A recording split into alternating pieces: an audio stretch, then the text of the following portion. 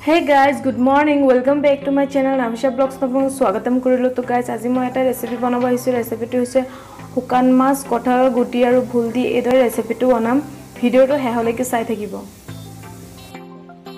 তো গাইজ এতিয়া মই কেৰাহী এটা বহাই লৈছোঁ ইয়াত মই দিছোঁ চাৰি টিস্পুনমান ইয়াত মিঠাতেল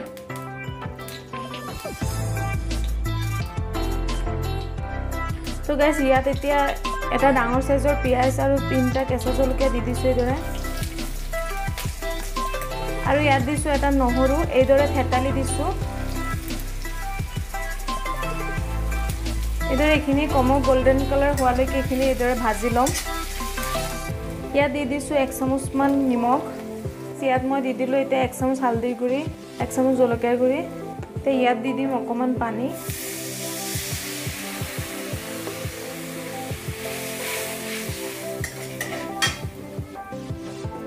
ইয়াত মই জলকীয়া গুড়ি কমাই দিছোঁ কাৰণ কেঁচা জলকীয়া বেছিকৈ দিছোঁ সেইকাৰণে।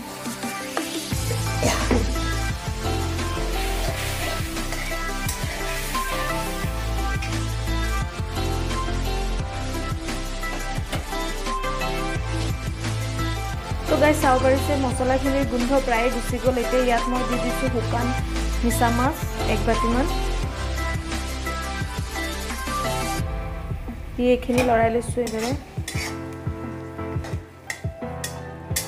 এইখিনি এক মিনিটমান এইদৰে পূৰা জুই দি পেলাই পিছত মই চব্জিখিনি দি দিম। তো গাই চাব পাৰিছে এক মিনিটমান হৈ গ'ল এতিয়া মই ইয়াত দি দিম। চব্জিখিনি ইয়াত আছে কঁঠালৰ গুটিখিনি আৰু ভোলখিনি দি দিম একেলগত।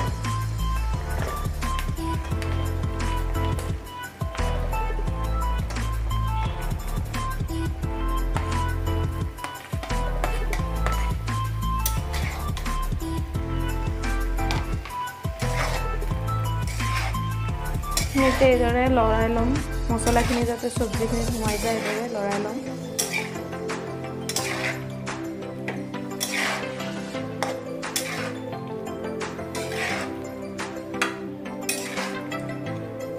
গেছখন মিডিয়াম ফ্লেমত ৰাখি এইটো কমত দহ মিনিটৰ কাৰণে এইদৰে সিজিবলৈ দিম ঢাকি দি দিম তো গাই চাব পাৰিছে ঢাকনাটো খুলি দিয়াৰ পিছত ইয়াত পানী দিয়াৰ প্ৰয়োজনীয় হোৱা নাই কাৰণ ভোলৰ পৰা এনেই পানী উঠে চাব পাৰিছে ধুনীয়াকৈ পানী উঠি গৈছে।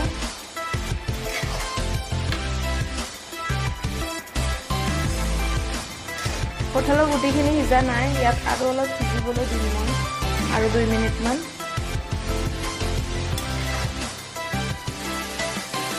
তো আৰু পাঁচ মিনিটমান এইদৰে মই ঢাকি দিম যাতে সেই কঁঠালৰ গুটিখিনি সিজি যায় তো আমাৰ তৰকাৰীটো ৰেডি হৈ যাব।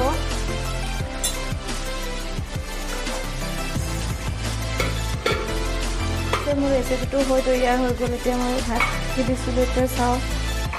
কঁঠালৰ গুটিখিনি।